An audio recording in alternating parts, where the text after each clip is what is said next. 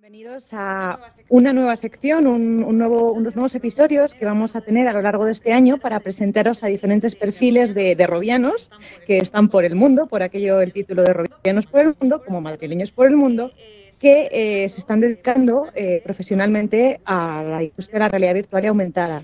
Eh, quería entrevistar profesionalmente a estas personas que lamentablemente se nos han ido de España, pero que están haciendo cosas muy interesantes en el exterior que nos pueden animar al resto que estamos aquí y a todos los que hablamos español. Y pues por eso hemos empezado con este tipo de entrevistas y para la primera me gustaría presentaros a Pilar Aranda. Pilar Aranda es Product Manager especializada especial, en realidad aumentada sobre todo, pero en realidad virtual también, ¿verdad? Pilar? Exacto, en los dos porque son el mismo espectro. Bueno, pues qué, gusto tenerte aquí. Muchas gracias por siendo la primera. Bueno, encantada, bien hallada. Ahora nos vas a contar un montón de cosas, de dónde vienes, eh, creo que eras de Valencia, ¿verdad? Sí, sí, de Valencia, eh, pero bueno, he viajado un poquillo por todas partes, así que me considero medio valenciana, medio santanderina, así que muy bien. qué bueno, fantástico. Pues bueno, yo creo que la primera pregunta que, deberíamos hacerte ¿no? es un poco eh, cómo descubriste tú la realidad virtual por primera vez, que además me suena que tú lo hiciste a una edad muy temprana. Sí, sí, sí, es que me estoy acordando ahora mismo, todavía tengo los pelos como escarpias porque tenía oh. siete años en los 90 y era la expo del 92, la expo del 92, fíjate. Y, nada, pues siempre nos ha gustado mucho la tecnología en mi casa. Mi hermano mayor es programador y vimos un headset gigante de realidad virtual. Eh, yo era una niña muy pequeñita y dijeron algo voluntario y salté yo de, vamos, corriendo, salté de, de, la audiencia de ese evento y, era la primera vez que, que se exponía realidad virtual en España en la Expo del 92 en Sevilla. Y no sé por qué yo lo recordaba que era Barcelona en las Olimpiadas, pero no, no, fue en 92 en Sevilla. Y claro, pues mm, el cerebro de una niña de 7 años me explotó. Y desde entonces pues yo pensé que eso es lo normal, que, lo, que íbamos hacia ese espacio. Y nunca llegó, ¿no? Yo me quedé esperando ese espacio, esa realidad virtual, porque me encantó. Fue una experiencia de, de parapente encima, con un arnés, o sea, me colgaron del mm. techo, bueno, brutal, claro. Después de eso, ¿En eh, me quedé esperando en el 92. Es que era brutal, tengo fotos y todo de, de la experiencia.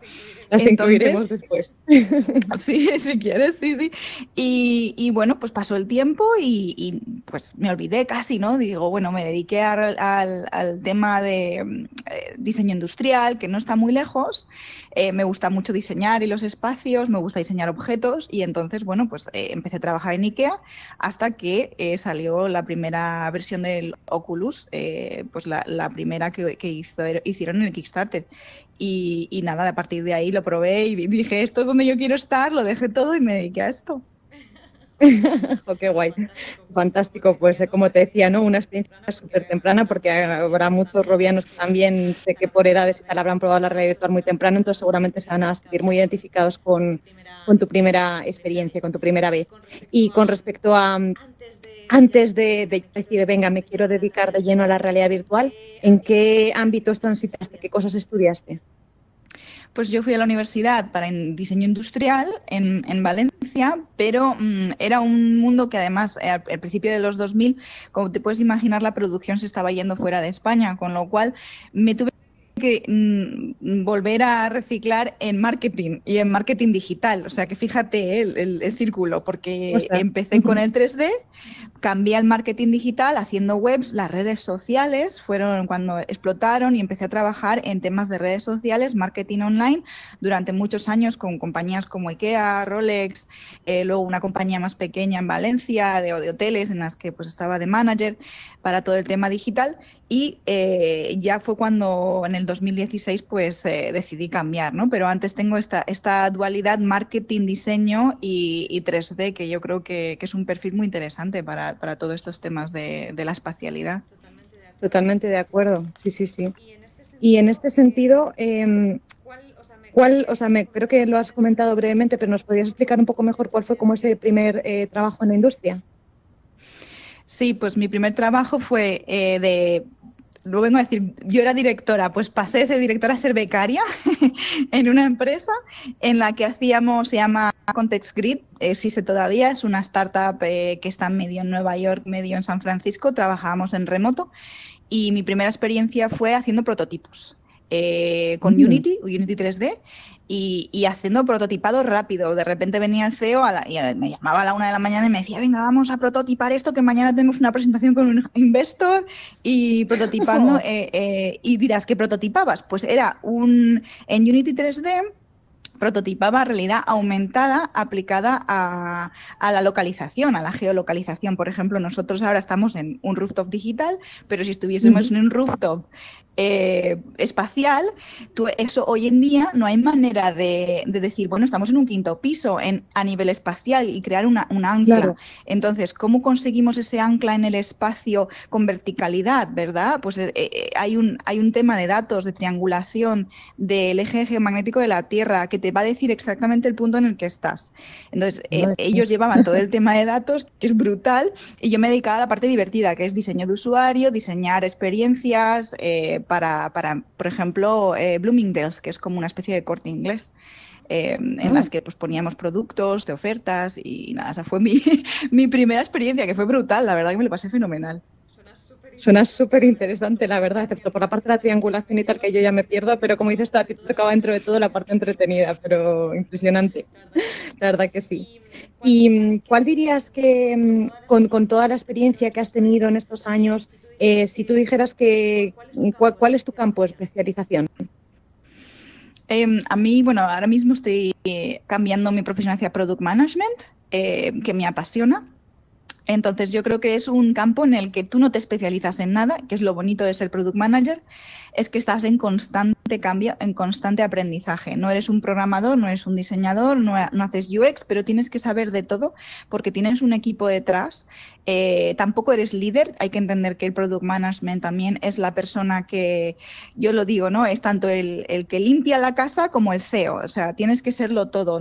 Si, por ejemplo, tu equipo necesita corriendo, corriendo unos archivos, eres tú el que va a buscarlos y de repente, como dicen, ¿no? Trae los donuts, que es la filosofía del product manager, es hacer que el equipo no se, no se quede atascado mientras desarrollas un producto, ¿no? Y cuando producto digo, por ejemplo, pues puede ser un una feature para realidad virtual o una feature para realidad aumentada o incluso una, una app entera. Claro, claro. Jolín, pues sí, súper súper chulo. Yo creo que en ese sentido hay mucha gente que, eh, y cuando yo he ido a muchas charlas donde conocíamos otros perfiles, nos decían, no, pues os tenéis que centrar en, un solo campo, tenéis que profundizar en, por ejemplo, pues eh, desarrollo o modelado 3D o texturización o este lenguaje de programación y es, muy importante que yo creo que la gente sepa que hay perfiles que necesariamente no tienen que ser eh, súper profundos, en, sobre todo porque hay muchos robianos, que eso, como yo misma, que somos muy curiosos y nos gustan mucho muchas cosas, pero igual no lo suficiente como para especializar en, mucho. Entonces, esto de estar pendiente de muchas cosas eh, y poder hablar ¿no? los distintos idiomas de los diseñadores, de los emprendedores, de los jefes, pero también de los desarrolladores es, es muy importante. ¿Y nos puedes contar un poquito en qué estás trabajando ahora mismo como Product Manager? Sí, pues ahora mismo acabo de empezar a trabajar para una compañía eh, muy clásica en Estados Unidos que se llama Herman Miller. Eh, Herman Miller inventó la forma en la que trabajábamos hasta que pasó el COVID. Eh, Herman Miller inventó ah. la oficina moderna. Cuando ves las películas de las series de los años 50 en Estados Unidos, el cubículo lo inventó Herman Miller. Tienen mm. oficinas muy chulas, mobiliario y ya no solo eso, sino que también se están expandiendo pues, a, los diseños de casa. El, el campo siguiente ahora con la digitalización del, mundo y, de, y del e-commerce es que eh, vamos a poder comprar desde nuestra casa. Si podemos visualizar los productos eh, en XR, pues es mucho más cómodo para la persona que está comprando, ya no solo para el usuario final, como podemos ser yo que nos queremos comprar, no sé, una oficina para casa, sino para empresas como un aeropuerto que quiere diseñar su oficina central y, eso ya son pues a lo mejor unos, unas 5.000 sillas, ¿no? Por así decirlo. Entonces, la visualización es súper importante para, el tema de, del comercio, que a veces lo olvidamos, pensamos, oh, Exar para eventos, entretenimiento, pero es yo estoy convencida de que además es una industria interesantísima para, avanzar de la forma en la que el consumidor consume y, cómo compramos, ¿no? Entonces, bueno, estoy súper apasionada ahora mismo, metida en los temas de, de, commerce y, ¿no? como el comercio electrónico. Sí. Sí, porque creo que cuando estábamos hablando como fuera de cámaras me comentabas que, en tu empresa hay, hay, sillas que costaban como, no sé, 5.000, no sé si 5.000 es mucho, pero me dijiste como una barbaridad, ¿no? Que sillas que realmente eran muy caras y que cómo no iban a tenerlas en tres dimensiones para ver exactamente cómo se ven los materiales, el tamaño exacto que tiene, vale, de acuerdo, no vas a poder sentarte en ella, en, la, en, la, versión de realidad aumentada, porque te pegarías un buen golpe, pero por lo menos te haces una idea de cómo queda en tu casa, de qué aspecto tiene, tamaño y, ya como que tenerla ahí ya cerca dices, bueno, pues me apetece, me puede apetecer incluso más comprarla, ¿no? Correcto, además es que las ves a escala, porque encima ahora con eh, los nuevos LiDAR que vienen con los iPhones, puedes eh, medir tu espacio perfectamente, con lo cual si vas a comprar una silla y puedes verla a escala real en tu habitación, con los colores más o menos aproximados, que eso también es muy, muy complejo, crear un color digital que, que es exacto al, al, real nunca va a ser exacto, ¿no? Pero muchas veces nos han llegado, pues tenemos un, a lo mejor un 20% de, de, retornos de, la compra, porque no le llega la mm. silla y no es del color que quieren o no les cabe. Entonces todo eso al final eh, son millones de dólares en retornos que también pues, pues se puede aprovechar para, para que pues haya menos retorno, ¿no? Y, y la empresa pueda, pueda mejorar en ese camino. Totalmente, yo creo que favorece tanto al consumidor como a la empresa, ¿no? Porque al final estás dándole toda la información posible al consumidor y, facilita ¿no? esa angustia de no, es que no sé qué estoy comprando porque lo estoy comprando por internet. Yo creo que eso ya lo hemos superado un poquito, pero es verdad que todo lo que ayuda en ese campo. Y bueno, hablando de campos, eh, como tú eres también muy curiosa, ¿hay alguna cosa que te llame mucho la atención de todo lo que está pasando? Porque están pasando un montón de cosas en respecto a la industria de realidad virtual y aumentada. ¿Hay algún campo de que si tuvieras tiempo, si te pudieras desdoblar y tu avatar pudiera trabajar por ti, ¿qué te gustaría experimentar? ¿En qué te gustaría indagar? Sí, bueno, yo soy muy fan de las experiencias sociales. Eh, mm. Estoy ahora haciendo beta testing eh, para Facebook Horizons. Este año entré en el Oculus Launchpad y me he dedicado únicamente y exclusivamente a estudiar al usuario, o sea, cómo nos comportamos en, en, los lugares sociales y cómo la presencialidad hace que seamos incluso hasta, tenemos la parte troll, ¿no? Y luego tenemos la parte súper agradable, ¿no? Pero nos comportamos muy diferente como nos comportaríamos, por ejemplo, escribiendo anónimamente en un muro, ¿no? Entonces, pues ver cómo la psicología humana eh, funciona con la socialización digital me, parece apasionante. Vamos, yo si pudiera me, pondría a hacer un PhD ahora mismo de, cómo está afectando eh, positivamente, con los impactos positivos de la socialización, especialmente durante la pandemia, eh, la socialización digital. Y bueno, ahora no es VR, pero por ejemplo estoy súper metida con Clubhouse porque tiene un componente de presencialidad y tiene un componente de, embodiment que es que sin cuerpo, sin embargo, se siente muy presencial. Entonces me gustaría ver eh, cómo se puede fusionar el, formato podcast eh, con el formato llamada, con el formato como estamos haciendo ahora, ¿no? Eh, en, en realidad virtual. Entonces eso me apasiona y me gustaría dedicarle, la verdad, mucho más tiempo del que le estoy dedicando. Totalmente, ojalá poder eso, ¿no? Volver atrás y decir, no, pues ahora otra versión de mí va a estudiar esto en profundidad y se va a sacar un doctorado sobre...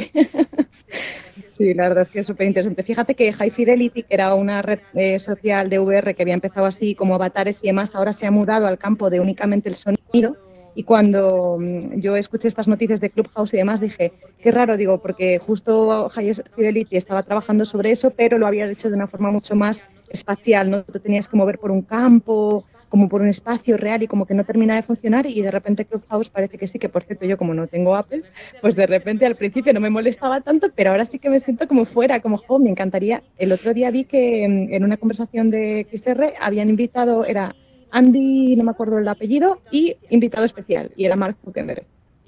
Sí, sí, sí. Está, en todas partes y los que no tenemos Apple pues no podemos acceder. Una cosa.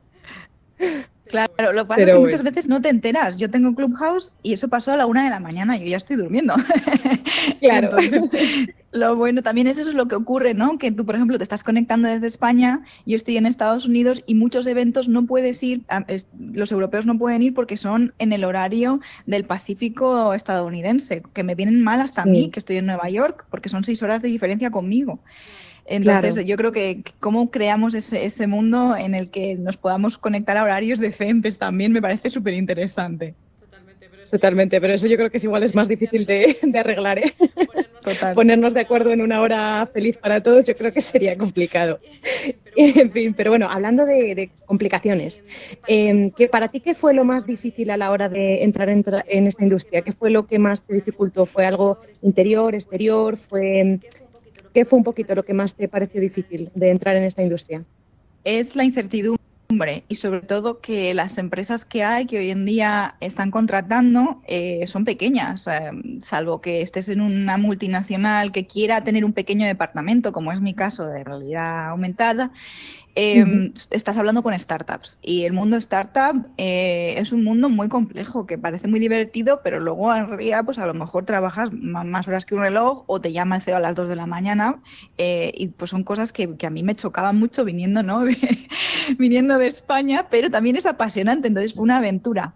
Pero sí que veo que el, desarrollo es lento y pequeño y tampoco tenemos que esperar a que esto explote, eh, es una curva que va a ir poco a poco gradualmente bajando y subiendo casi como el cripto, y va a ir haciendo así. Entonces va a haber momentos en los que pierdas la fe, que me ha pasado, nos ha pasado a todos. Yo estuve un año sin poner el invierno de la realidad virtual, casco. Sí, sí, sí. Y luego lo que le pasa a muchos eh, developers que conozco es que se queman. Eh, cuando trabajas en realidad virtual, estás todo el día en realidad virtual porque tienes que presentar un, deadline, eh, a lo mejor luego tienes una, como es un lugar físico, luego tienes una reacción adversa. Eso me ha pasado. Entonces, bueno, yo lo digo porque es muy divertido cuando empiezas, pero sí que es verdad que si haces lo que llaman aquí el crunch, que son a lo mejor dos o tres, seis meses en los que comes, duermes y trabajas, no haces nada más, eh, puede generar mm, un, burnout que llaman aquí, ¿no? que es que te, quemas y no quieres seguir trabajando en el ambiente. Entonces yo creo que es muy importante que, moderemos ¿no? cuando empezamos a trabajar en, esto y estamos a lo mejor lanzando un producto o una startup, que digamos, vale, muy, esto está muy bien, pero tenemos que moderar nuestra vida personal porque si no lo, lo que puede hacer es el efecto rebote. Claro y nadie, vamos, no creo que nadie quiera cogerle manía a la realidad virtual. Claro. Pero sí que sí que puede pasar, ¿no? De decir, no, es que estoy quemadísimo, no quiero tocar las gafas. Yo tengo compañeros en el trabajo que, claro, como trabajan todo el día desarrollando y tal y cual, luego llegan a casa y no te creas que les apetece pegarse una partida de VR, obviamente. Porque, claro, todo el día con la gafa puesta, testando y demás, pues al final pues se cansa un poco, es, es normal. ¿Y, qué es lo que más te gusta de, la tecnología y de la industria? Yo creo que podemos eh, diferenciarlo en esas dos partes. Sí, bueno, yo creo que es una industria que está creciendo, pero seguimos siendo los mismos. Y es muy bonito porque te vas viendo los eventos, te vas viendo en los sitios y dices, hombre, tal, y los avatares te suenan. Eh, yo, no, la verdad que Aspis eh, hace muy poquito que, he empezado, o sea, lleva mucho tiempo sin usarlo, pero sí que es verdad que, muchas veces a lo mejor eh, veo al avatar de alguien que conozco y les saludo, ¿no? O, por ejemplo, es que estamos todos en Clubhouse ahora mismo hablando, a la vez mientras programamos o estamos haciendo algo a la vez. Es una industria muy pequeñita que es muy, como diría, es que te dejan entrar, nadie te va a mirar por encima del hombro porque todos hemos empezado sin tener ni idea, nadie sabía nada hace cuatro años, con lo cual em, no hay gurús, ¿no? Podemos pensar, oh, mira, este tío eh, sabe mucho, pero en realidad no tenemos ninguno, ninguna idea y en Twitter estamos todos haciéndonos preguntas de, oye, ¿cómo va el shader graph en Unity? Preguntaba ayer Lucas Risotto, ¿no? Y le contesta a uno, pues mira aquí, no sé, que nos pasamos tutoriales y eso es lo bonito, yo creo que es lo más bonito, es que creamos comunidad y es muy social, es muy social y yo creo que eso es la, la ventaja competitiva con respecto a otras cosas que puedan ser menos sociales, ¿no? Totalmente. O sea, es que realmente yo también sentí que la industria era muy acogedora, que había un montón de recursos, que la gente estaba dispuesta a compartir los pocos descubrimientos, los pocos, bueno, los muchos errores que como se cometían y los muchos aciertos que también se han ido cometiendo eh, o, descubriendo, perdón, eh, siempre han estado ahí al alcance. Yo me acuerdo que cuando empecé a estudiarlo en 2016 había pues un poquito, ¿no? Pero y de repente aquello fue creciendo, creciendo, creciendo y ahora ya es eso, casi te cuesta mantenerte al día. ¿Qué es, lo que a ti más te apasiona de la parte de la industria? Perdón, de la tecnología. De la, de la tecnología, te diría que está siempre en constante evolución. Ahora mismo llevo las Quest 2 y me encantan porque son, son un 20% más ligeras o así, no sé cuánto, pero me encanta porque hace un año tenía las Quest 1 que me encantaban y me parecían lo más y ahora tengo las Quest 2, estoy súper ligerita porque claro, cuando las llevas todo el día pesa esto, pesa. Entonces digo, qué guay. Entonces siempre hay algo nuevo y, es, y la verdad que como siempre hay un software, un hardware nuevo que ver, estamos siempre en constante atención y eso me gusta mucho porque ves que no está estancado, lo ves crecer y eso es muy, muy bonito, que la estamos viendo crecer eh, delante de nuestros ojos. Por eso estoy muy, eh, muy feliz de ver que, evoluciona, que además vamos hacia la mixed reality también, que cada vez vamos hacia esa dualidad VR-AR. Eh, llegará un momento en que se fusione. Entonces, desde un punto de vista tecnológico, es lo que ahora mismo más me apasiona, ver la convergencia en el, momento en el que el VR y el AR se finalmente converjan gracias al hardware. Total, mira, justo era esa la pregunta que te iba a hacer, que ahora, eh, que cómo ves el futuro de, estas tecnologías, de esta industria. O sea, para ti es evidente que tarde o temprano van a terminar convergiendo, ¿no? Sí, sí, sí. A ver, siempre va a haber nichos, habrá el que quiera solo VR y el que quiera solo EAR, pero cuando te pones a programar o a crear productos con Unity, eh, Unreal, WebXR, que soy una apasionadísima de WebXR, por cierto, yo creo que también vamos hacia eh, la democracia porque eh, la web está ahí, no hay que instalar nada, puedes acceder con el browser, está todo súper cómodo. entonces yo creo que va a haber una convergencia en cuanto a hardware, de que podremos pasar de completa opacidad que es lo que tenemos ahora con el headset, completa opacidad, a a lo mejor pues tener una semi-opacidad, que yo creo que es hacia donde va, a ir. La tecnología ya está ahí, ya podemos hacer cristales semi-opacos, ya podemos crear cosas que te dejan ver el exterior. Eh, Barjo sacó con Volvo un headset que estaba muy guay muy guay. Tú podías conducir con eso puesto y decía, Dios mío, cuando lo vi. Sí, y el último que han sacado, cómo se veía la calidad, era realmente impresionante. Es, es brutal. Entonces yo creo que, que, lo suyo es converger, porque cuando te pones a mirar el software es lo mismo para realidad aumentada que para virtual. Estamos utilizando los mismos motores, los mismos, la misma programación. Lo único, a lo mejor, Apple, si saca sus, gafas, pues puede ser que sean en Swift, ¿no? Y los que venimos de Unity, pues a lo mejor decimos, bueno, pues vamos a tener que aprender Swift ahora de repente, ¿no? Em, pero, pero vamos, que son las mismas tecnologías las que están detrás y es un espectro. Tenemos que ver que el EAR y el VR no son competidores, son parte de la misma familia, son un espectro en opacidad, básicamente. Vale, súper interesante. Y pues yo creo que ya, digamos, cualquier persona que esté interesada en meterse en la industria, eh, ¿qué consejo le darías? Pues que siga investigando. Novatos, no, bueno, yo soy una novata, yo me considero una novata. Todos ¿eh? somos novatos en realidad. Llevo desde el 2016, 17 y, me, y considero que no tengo ni idea. Yo creo que eso es la cómo mantener la mente abierta, o sea, pensar que no tienes ni idea todo el rato. Eh, tener curiosidad, eh, no tener síndrome del impostor, que eso me lo digo a mí misma todos los días. No pasa nada si no sabes esto. Eh, hay YouTube, eh, tutoriales en YouTube. Em, te puedes hacer un curso. Comunidad para contesta, ¿no? Comunidad en Twitter. La gente en general en Twitter responde brutal. Y si no te responden, es que nos, te lo juro, cuanto más eh, alto es el puesto, más simpáticos son en Twitter y más quieren mover la industria hacia adelante. Con lo cual, preguntad, no tengáis vergüenza, estudiad por vuestra cuenta no hay un, yo no conozco aún ningún máster específico en VRAR, pero te lo puedes crear tú, puedes hacer un curso de tres meses aquí, un curso de tres meses allá.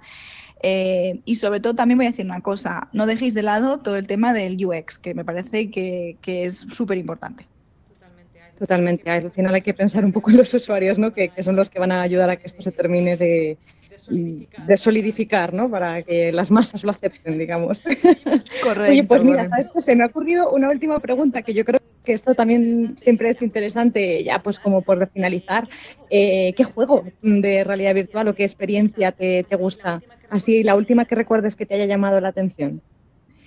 yo soy muy clásica, me gusta siempre las mismas cosas, me gusta repetir. Entonces yo soy half, half plus half eh, que salió hace tiempo, fue uno de los pioneros con, estas tomas de multiplayer, porque Normal sacó el multiplayer, el Normcore Half plus Half, o no sé cómo lo decís en español, Half más Half.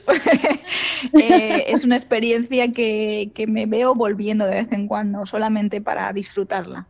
Em, aunque ya sea un poquito antigua, pero sí, eso y, luego todo lo que se ha construido. O sea, Gravity Sketch, Steel Brush, que ahora por mm. cierto lo han sacado, ¿no? Eh, open source. Curiosidad. Bueno, pero la comunidad ha sido rapidísima en crear algo de nuevo, o sea, es impresionante, menos mal que no lo han dejado morir, yo me alegro muchísimo.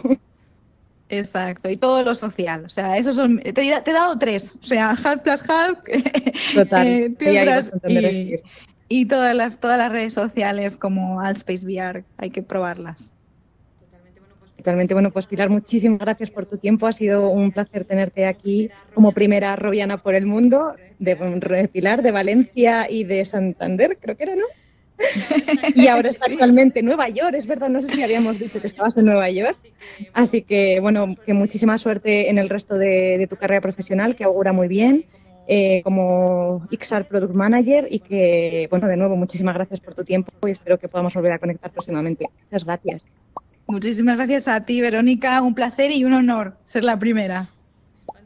Fantástico, Pilar, gracias. Vamos a despedirnos de los robianos. Adiós, gracias.